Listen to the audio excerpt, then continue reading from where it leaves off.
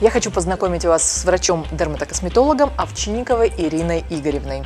По совместительству моей сестрой она прилетела специально из Москвы для того, чтобы познакомить нас э, со способами, которые действительно могут влиять на гравитацию. Ведь правда же? Конечно. Можем ли мы повлиять на последствия гравитации? Конечно, Оля, можем повлиять на гравитацию и улучшить за счет этого и создать лифтинг лица. То есть косметология сейчас может очень многое. Ты моя сестра, я, конечно, знаю, что ты закончила, я знаю, что ты врач, но все же для наших зрителей я думаю, что тебе надо сказать, какое у тебя образование и какую ординатуру ты закончила. Я училась в Киргизской государственной медицинской академии. Ее закончила в 2002 году. И затем я уехала в Москву получать образование более такое узкое. То есть я получила образование в специализации дерматовенерология.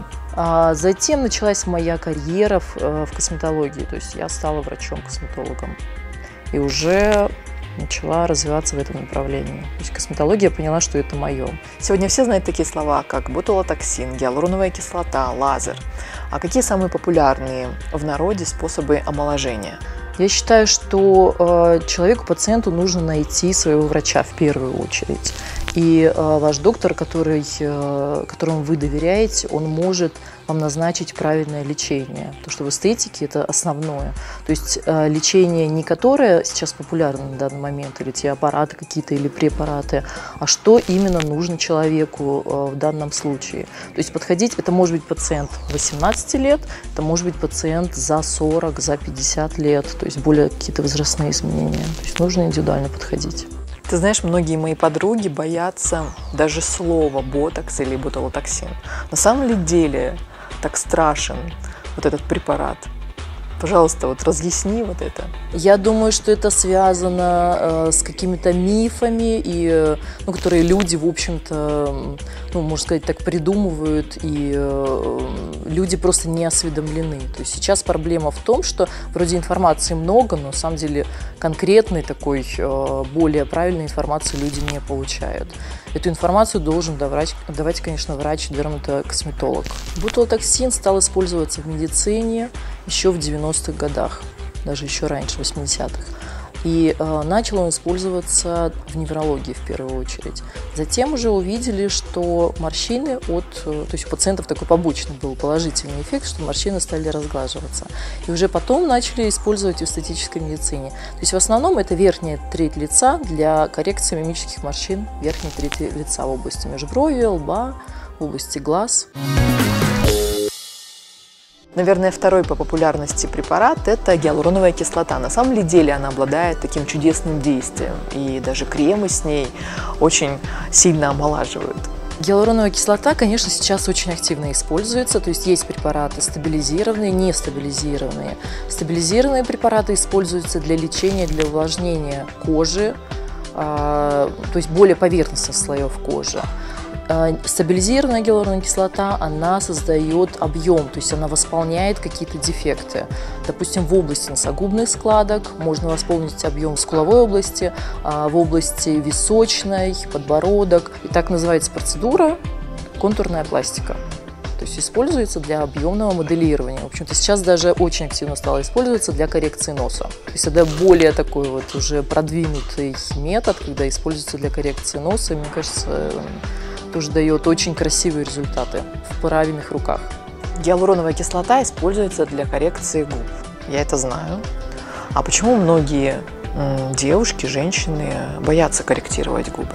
Да, действительно, для увеличения губ используется гиалуроновая кислота, стабилизированная гиалуроновая кислота, то есть филлер на основе гиалуроновой кислоты. А, но сейчас мы видим очень много не совсем корректных, э, корректной работы докторов, э, потому что происходит гиперкоррекция в этой области. Я думаю, что многие пациенты, видя эту работу, боятся, чтобы не было большого объема, то есть нужно получать, конечно, более эстетически, то есть надо подчеркивать именно свою красоту губ. И не всегда мы это видим.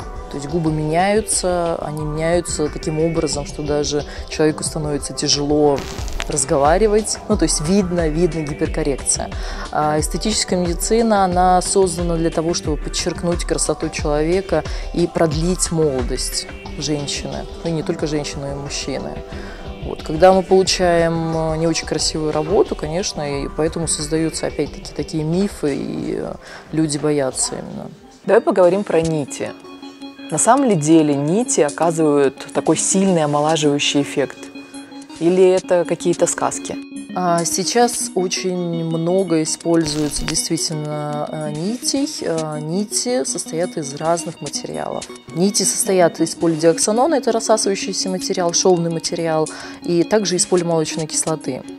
А, и капролактона. Вот. Но я рекомендую чаще всего все-таки из полимолочной кислоты, потому что препарат, помимо еще того, что мы можем создать натяжение, то есть поработать в плане лифтинга лица, но еще также э, дает ревитализирующий эффект.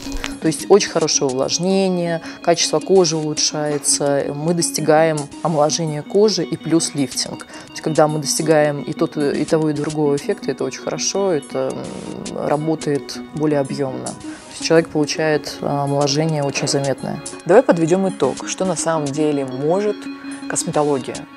И насколько а, высокие результаты она дает?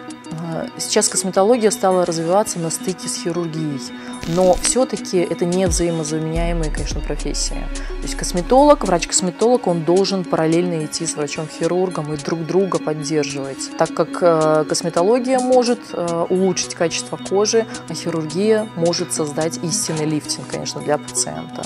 А, поэтому взаимодействие двух этих профессий, оно, конечно, должно быть.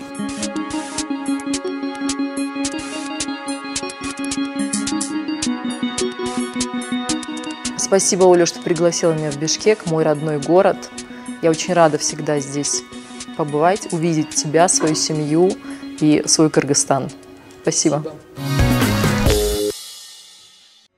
Вы посмотрели программу «Линия жизни» на канале ТВ1 KG.